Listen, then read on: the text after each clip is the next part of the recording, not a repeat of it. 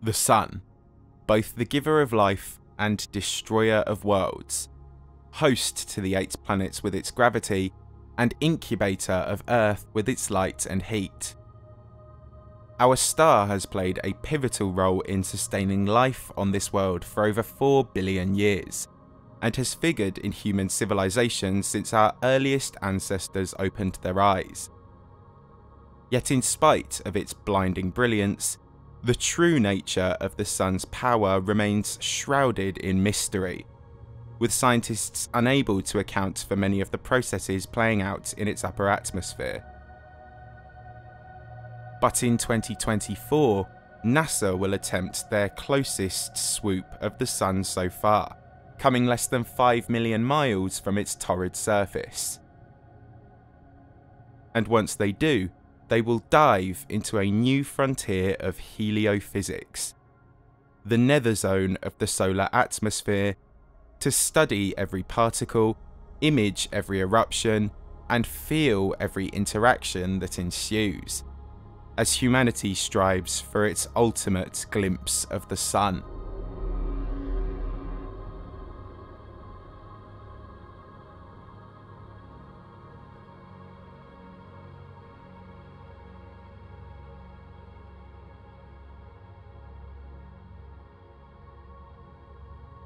The sun has been at the heart of the human experience since the earliest sapient beings, from Neanderthals to the Aboriginals to Mesopotamia and beyond.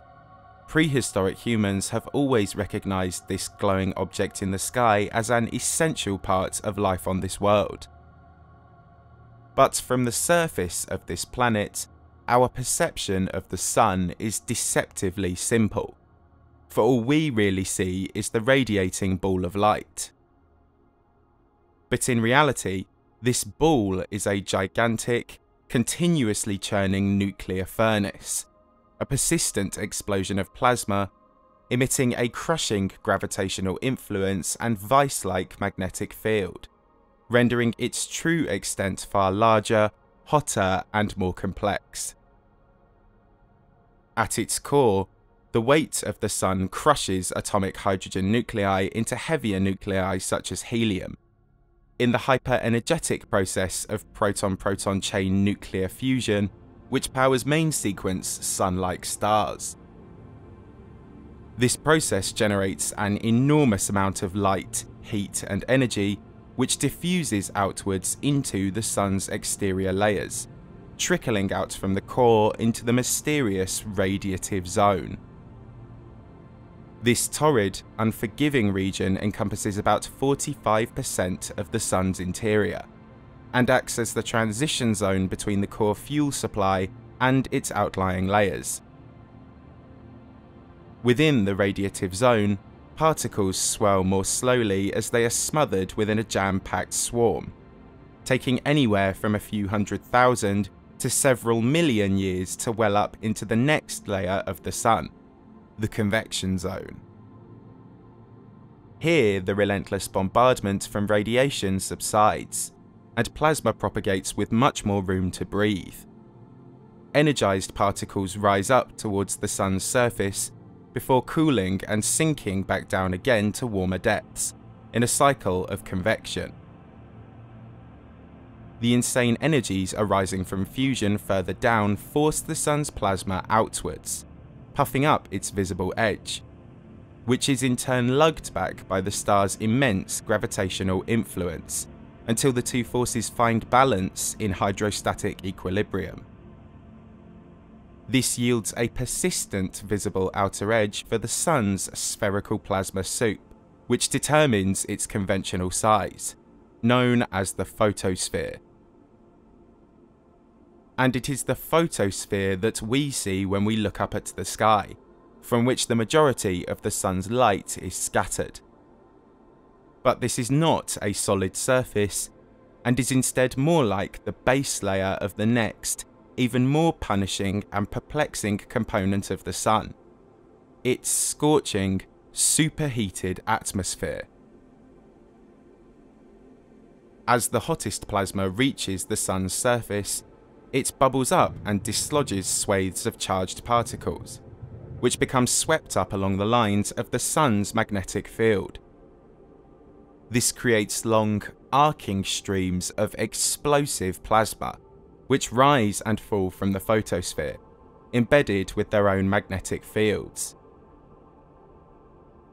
Collectively, these magnetized streams rage around the near solar environment to make up the Sun's corona, the turbulent solar atmosphere laced with some of its most intriguing mysteries. Only slightly above the Sun's surface, extreme, poorly understood magnetic processes take place, and temperatures skyrocket from around 6000 Kelvin on the photosphere to upwards of a million Kelvin by the tip of the transition region. A thin, sparse, and irregular shell surrounding the photosphere, which acts as a gateway to the immense magnetic storm swirling above. The coronal region extends dozens of times farther into space than the photosphere, sizzling at millions of kelvins within its streams, where most of the sun's wide-reaching effects originate. But for the longest time, it was assumed that the radiant photosphere would be the hottest part of the sun's exterior, with temperatures falling linearly with distance from the surface.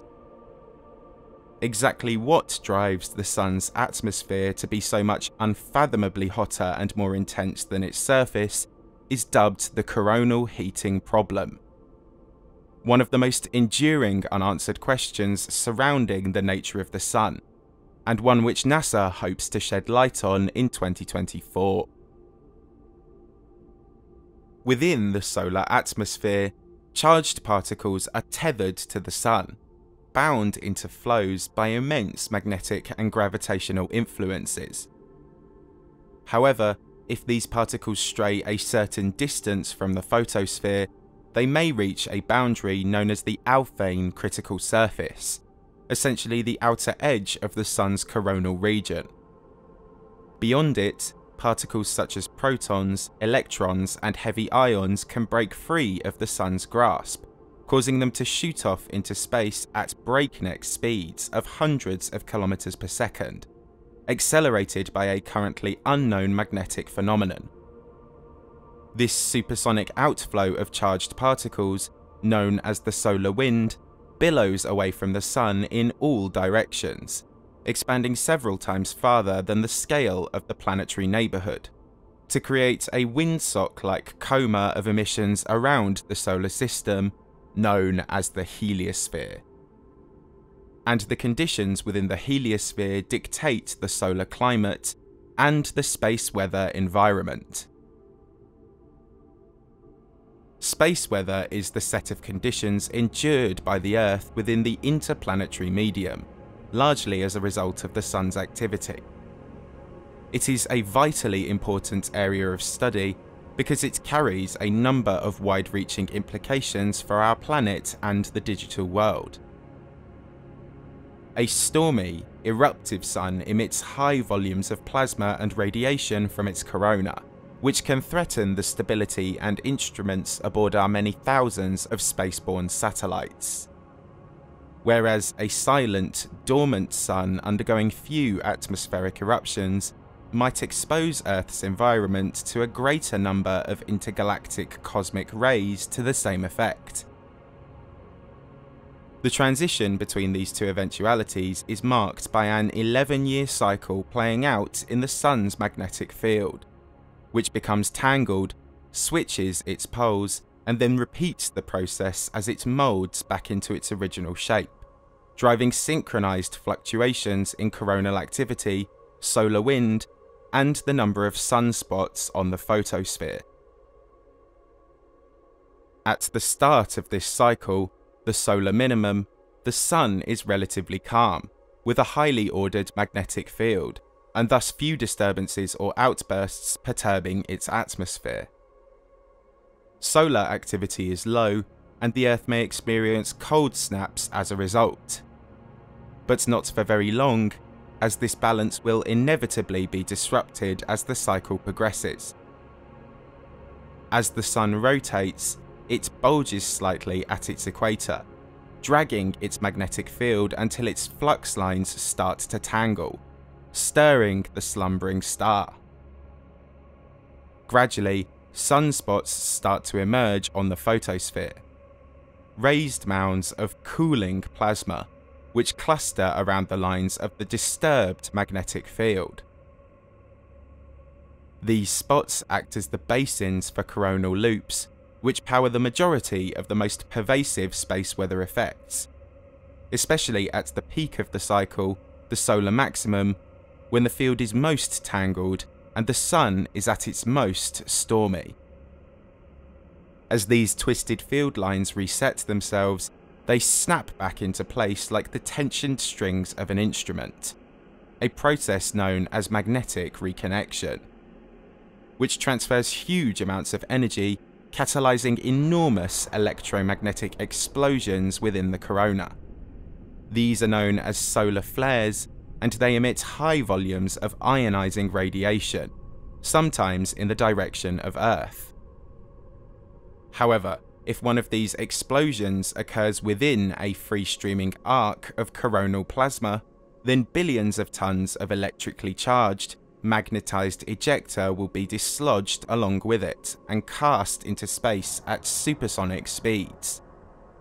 These are known as coronal mass ejections, by far the most significant type of solar outburst, often occurring alongside solar flares and increased solar wind with each type bringing its own set of challenges when barreling in the direction of Earth. For the most part, our planet's own magnetic field shields us from the most detrimental effects of space weather by deflecting harmful solar wind particles along its lines of flux. These charged particles strike the atoms in Earth's atmosphere exciting their accompanying electrons and causing them to glow, illuminating the sky with shimmering, bedazzling aurorae. But a strong solar flare releases large quantities of high energy radiation, like X rays, gamma rays, and ultraviolet emissions. These can lead to greater ionization in the Earth's upper atmosphere, changing its thickness and temperature which can in turn hamper the speed and quality of radio waves, affecting all the digital services they provide. In addition, the instruments aboard older and less sophisticated satellites in the firing line may be damaged, and their orbits around Earth destabilised by sweeping radiation pressure. Furthermore, if a massive, multi billion ton cloud of ejected coronal plasma trails the solar flare, the outlook for humanity is considerably worsened. A huge stream of electrically charged, magnetized particles ramming into the Earth's magnetosphere would deform its structure, bending it out of place. And much like the Sun, as these field lines snap back into their original configurations via magnetic reconnection, enormous amounts of energy would be transferred into the ionosphere, inducing a geomagnetic storm that floods the atmosphere with electrical currents. The insertion of such currents would wreak havoc on power grids across the planet, causing pylons and transformers to fuse, spark, and perhaps even catch fire interrupting domestic power supply for millions of people thereafter. Such an event gripped the Canadian province of Quebec in March 1989, during a period of spiking solar activity at the 22nd documented solar maximum. A huge coronal mass ejection, arising from an aggregation of sunspots, tore across Earth and was caught up in its north pole, before sweeping southwards through North America. The arrival of huge currents in the sky crippled the Hydro-Quebec power grid in under 90 seconds, knocking out power for millions of residents and plunging entire cities into overnight blackouts. Dubbed the day the sun brought darkness, the Quebec incident remains the only recorded geomagnetic storm of the spacefaring age, so far, that is. But it is not the largest ever to have gripped the Earth, as the planet has endured dozens over the past 3,000 years. But for the most intense geomagnetic storm ever recorded, we don't have to go so far back. Because partway through the 19th century, observers all over the world witnessed the unprecedented effects of the Carrington event. The Carrington event was the perfect storm, the largest and most intense in history, occurring during an earlier iteration of the solar maximum, at a time when our technological infrastructure was in its infancy. Shortly before midday on the 1st of September 1859, two British astronomers, Richard Carrington and Richard Hodgson, independently recorded the first instance of a colossal solar flare rising from an aggregation of sunspots. This flare came tearing in the direction of Earth and swept over the planet just minutes later, lacing the sky in high altitudes with a proliferation of magnificent aurorae that same night. But trailing this solar flare was a tremendous coronal mass ejection, which came surging over the planet the next morning. In the day that followed, a massive geomagnetic storm ravaged the Northern Hemisphere, sending recently established telegraph systems across Europe and North America into meltdown. Pylons sparked and some even burst into flames, with their operators receiving electric shocks, though some lines remained active, powered purely by the currents they received from the aurorae. On the night of the 2nd of September, at the height of the Carrington storm, the aurorae were reported as being even brighter and more intense, and were seen snaking across the sky all over the planet. From Europe and the Americas to Western Australia, China and Japan, and even down to low latitude subtropical areas such as Mexico, Cuba, and Hawaii.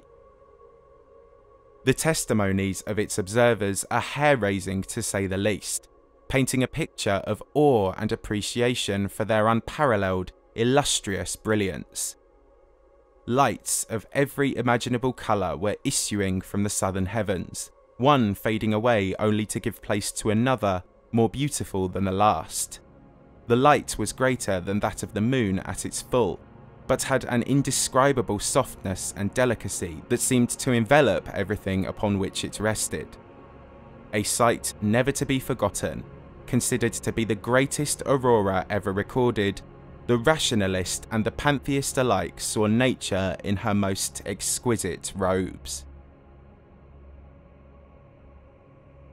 No geomagnetic storm since has ever come close to the scale of the Carrington event. The aforementioned Quebec blackout was the only one of the space age so far, but it was less than half the strength of the coronal mass ejection that battered Earth in 1859. And if a similarly sized geomagnetic storm gripped the world in 2024, the impacts on our modern day society would be unprecedented. Given the sheer number of critical services that rely on radio and satellite communication, everything from public services to healthcare, supply chains, and even airspace and maritime navigation would be affected. In the event of a strong solar flare ionising the upper atmosphere, radio waves would seize up and the GPS network would be severely impaired. Flights, shipping, logistics, and even military activities would be disrupted. And that is before the arrival of the trailing stream of charged particles embedded with magnetic fields. A Carrington-sized coronal mass ejection today would overwhelm, spark and cripple power grids across the globe, especially in high latitude areas of the northern hemisphere where the storm would begin.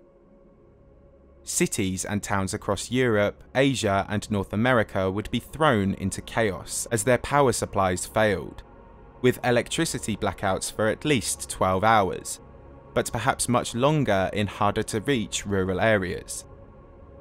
The knock on effects of everything from the loss of mains electricity to water purification would also impede our capacity to respond. Hospitals would struggle to meet surging demand while maintaining their vital services. And a loss of wireless communication and global positioning would complicate relief efforts for the worst hit areas.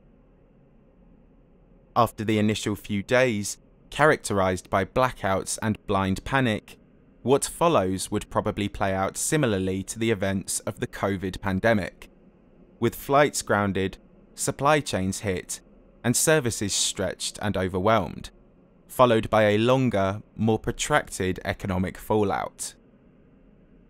Insurers have forecast the cleanup cost of a Carrington sized geomagnetic storm for the United States alone as anywhere between $750 billion and $3 trillion.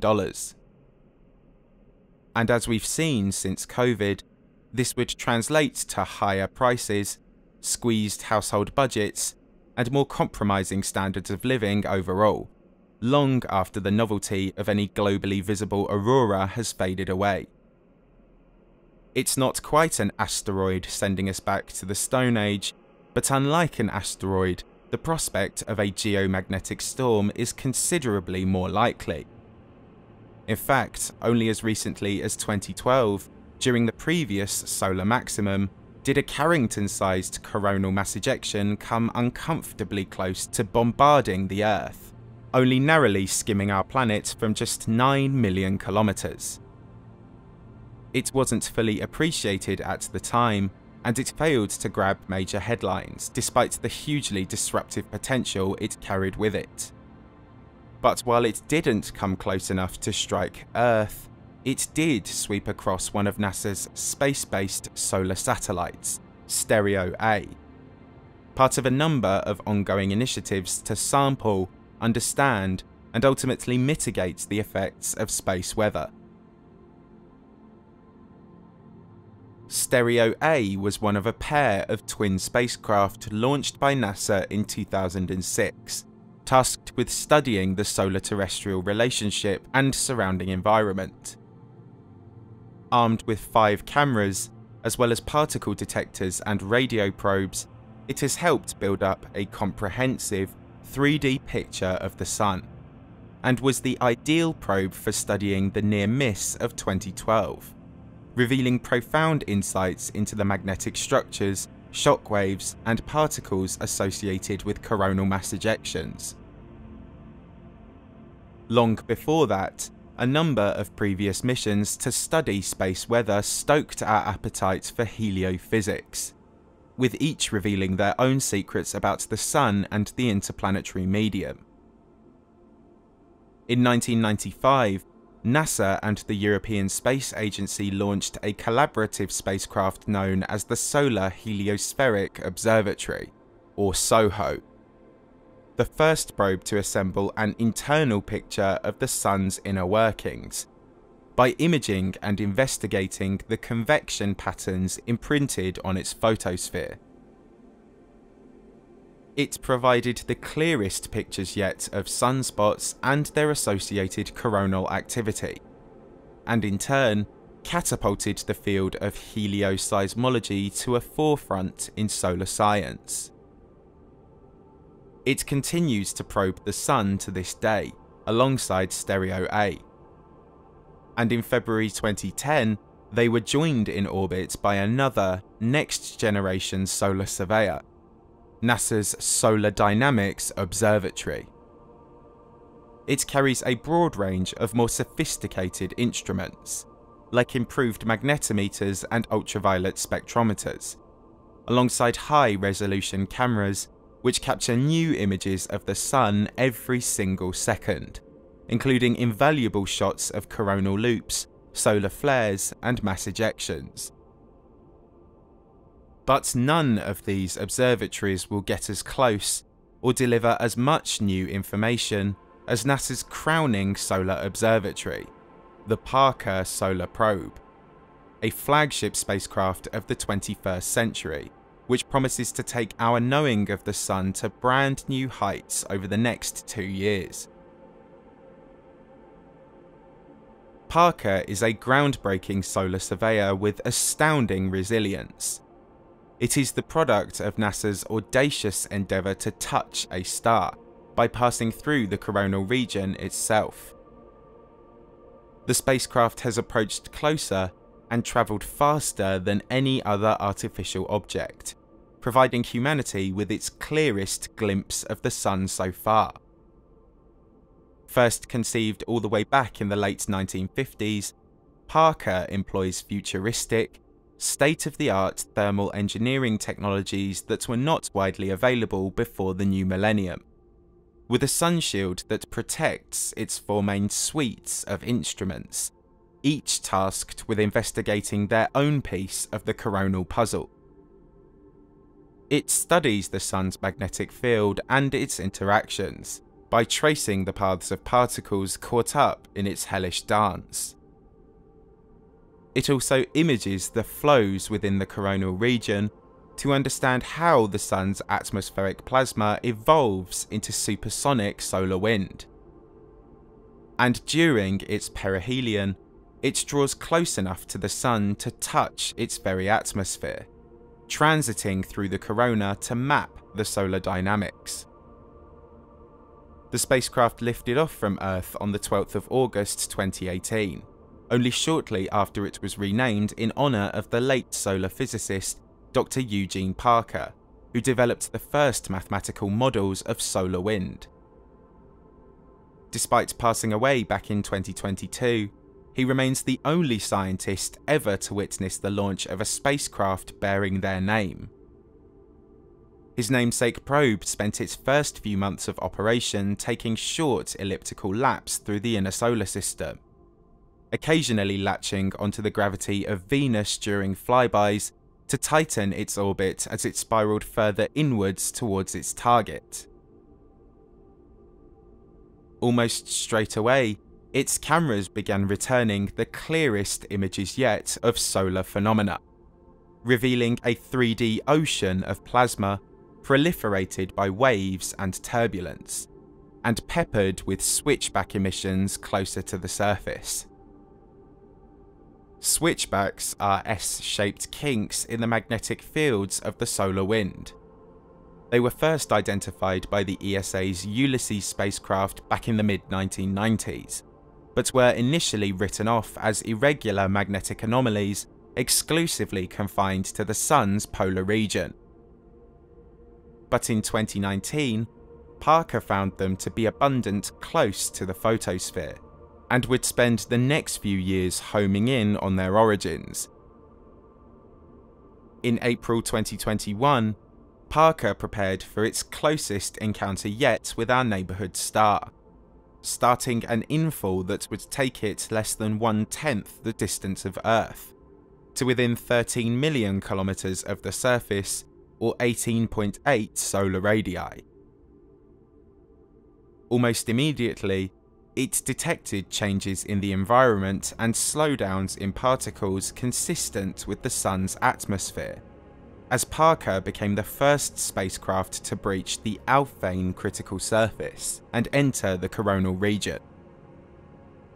By August, its cameras had captured incredible, detailed shots of coronal streams, showcasing flows of plasma still tethered within the star's atmosphere, curving under the influence of its strong magnetic forces.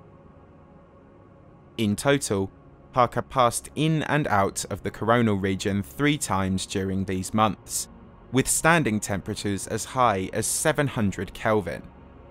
And when face to face with the unflinching glare of the sun, its instruments homed in on the photosphere to shed new light on a range of complex near-solar phenomena.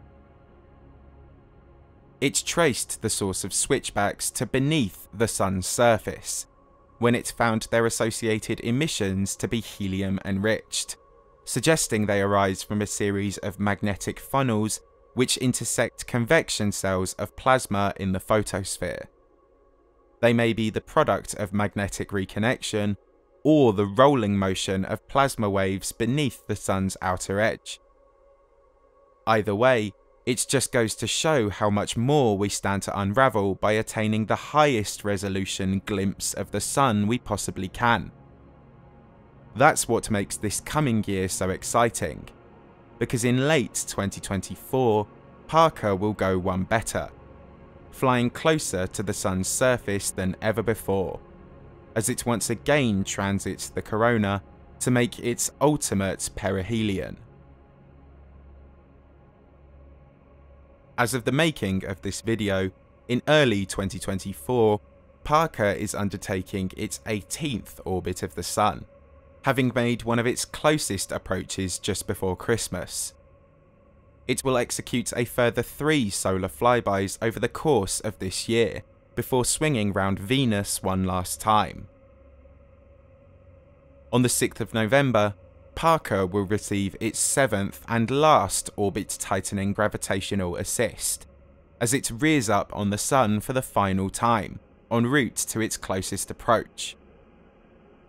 By Christmas Eve 2024, it will have drawn just 6.1 million kilometres from the photosphere, merely 4% the distance of Earth, and around twice as close on average as its transits in 2021. Once back inside the coronal region, the craft will be exposed to temperatures exceeding 1600 Kelvin, but will weather its storm by only spending a short while up close, racing through at a dizzying top speed of some 690,000 kilometers per hour, like flying from London to New York in less than 30 seconds, by far the fastest artificial object ever to have graced the skies. Its passage will once again take it within the stellar nether zone, to sample every magnetic influence and feel every interaction, aiming to reveal the hidden subtleties of solar particles. It will look to constrain the temperature, density and structures within the corona, studying the role of magnetic reconnection and the effects of tangled field lines. It will also sample the minute properties of solar plasma, recording the traits and behaviour of the ions and subatomic particles that eventually evolve into solar wind.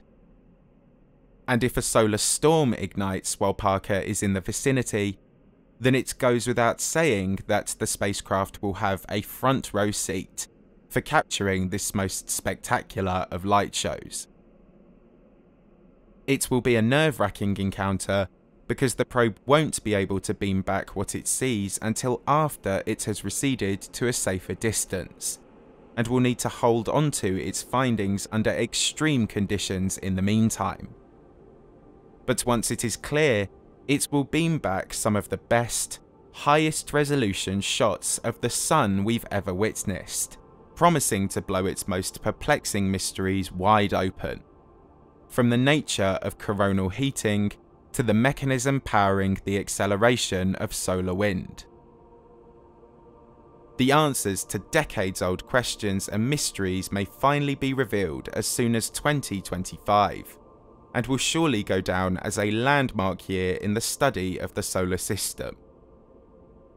In the meantime, Parker will make at least two additional flybys of the Sun from a similar distance, as it continues to study the near solar environment. Further flybys may be possible thereafter, but only from a farther distance, as the craft's orbit will no longer afford it any course correcting flybys of Venus by then. And inevitably, probably during the middle of the decade, Parker will run out of the fuel needed to keep it in a stable orbit, and the spacecraft will veer off course and conclude its mission, bringing to an end one of the most impressive scientific feats of the century. As Parker spirals off into the sun under its immense gravitational influence, it will be exposed to intolerable levels of radiation and heat, eventually burning up and disintegrating long before it reaches the photosphere.